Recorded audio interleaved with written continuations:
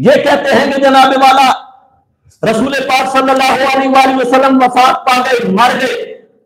और रसूल पाक वसल्लम की रूह जन्नत में मौजूद है, जन्नत में मौजूद है। आपका बदन कमर के अंदर सही सलामत है। रूह कहाँ है? जन्नत के अंदर है। अब ये सवाल आप लोगों के सामने, पहले इस बात को बखूबी समझ ले कि रसालत और नबुवत कयामत तक बाकी है। कयामत तक बाकी है। नबुवत किसके साथ होती है? नबी के साथ। बात समझ में आ रही है? रिसालत किसके साथ होती है? रसूल के साथ। रसूल होगा तो रिसालत होगी। नबी होगा तो नबुवत होगी। नबुवत सिफत है और नबी मौसूफ है और सिफत बगैर मौसूफ के नहीं होती। मौसूफ होगा तो सिफत होगी और रिसालत, रसूल होगा तो रिसालत होगी। नबी होगा तो नबूवत होगी। नबी नहीं है तो नबूवत नहीं है। रसूल नहीं है तो रिसालत नहीं है। रसूल है तो रिसालत भी है। नबी है तो नबूवत भी है। आपने कहा कि नबी आलम बरजख में ज़िंदा है। मान लो अकीदा खत्म नबूवत पर तुम्हारा ईमान बिल्कुल कोई नहीं है, क्योंकि नबूवत तो आलम बरजख में है, नबी आलम बरजख में है। आलम दुनिया नबी से खाली है, नबूवत से खाली है, रसूल से खाली है, रिसालत से खाली है। हमसे कोई अकीदा खत्म नबूवत माने। हम कहते हैं नबी भी मौजूद है, नबूवत भी मौजूद है, रसूल भी मौजूद है, रिसालत भी मौजूद है।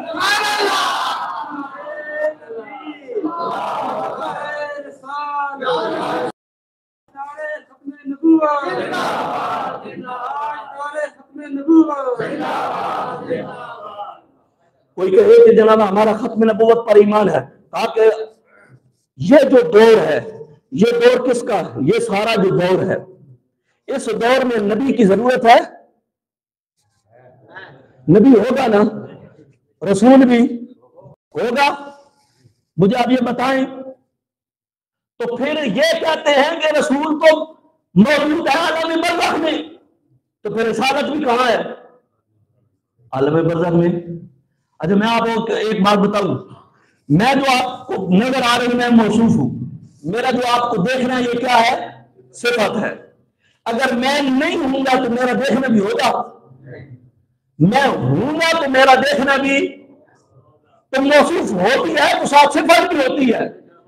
सुनो फिर। इनसे पूछा। कुरान की साथ का जवाब दो। सूरज सभा है, आयत नंबर अट्ठाईस है। कुरान कहता है, वमा का महबूब प्यारे, हमने तुमको न भेजा इल्ला का फतल्लिन्नासी मगर ऐसी मिसालत से जो तमाम आदमियों को घेरने वाली है। मुझे आप ये बताओ, इनसे पूछो का फतल्लिन्नास में हम भी हैं या नहीं? रिसालत तो तमाम लोगों को घेरने वाली है। काफतनास में हम लोग भी हैं या नहीं?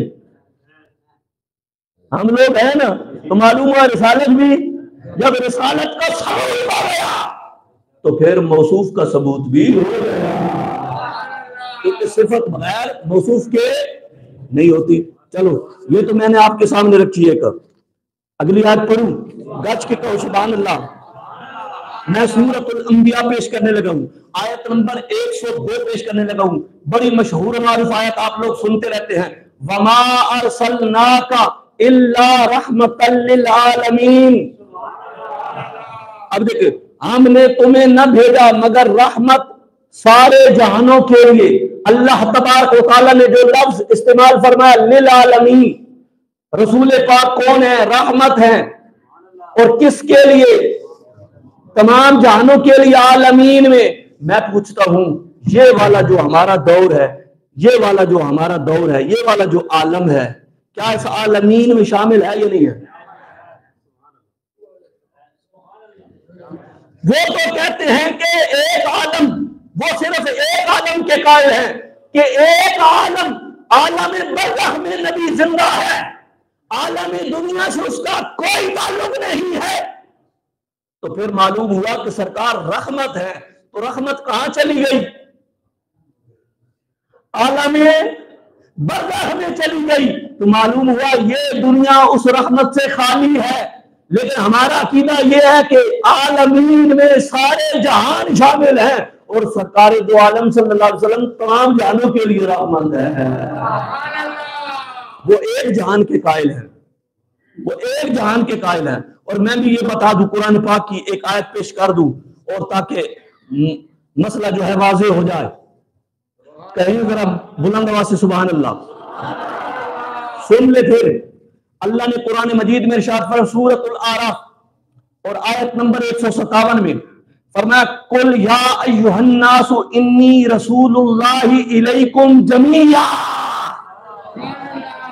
तुम फरमाओ, ए लोगो, मैं तुम सब की तरफ़ उस अल्लाह का रसूल हूँ।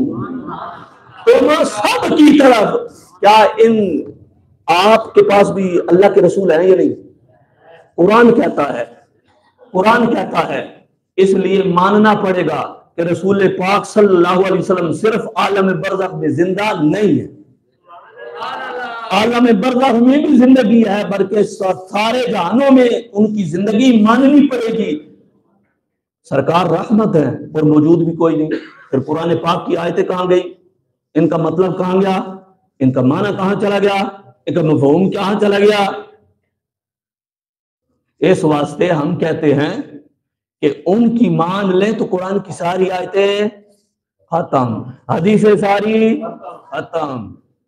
तो समझ चाहिए, अकीदा हयात नबी वो ही मानेगा, जो अकीदा खत्म नबूवत मानेगा। और जो अकीदा खत्म नबूवत मानेगा, वो अकीदा हयात नबी मानेगा। क्यों? मैंने ये क्यों कहा? आखिरी बात सुन लो। मैंने इसलिए कहा कि उनका नबी तो इस आलम दुनिया में है ही कोई। वो कहाँ है? आलम बरजख में। ठीक है? अब ये दौर नबी से क्या है? ये आलम दुनिया से, ये आलम नबी से खाली है तो फिर उन आकुन का जहनी मान लो और नबी का दावा करदा उसको मान लो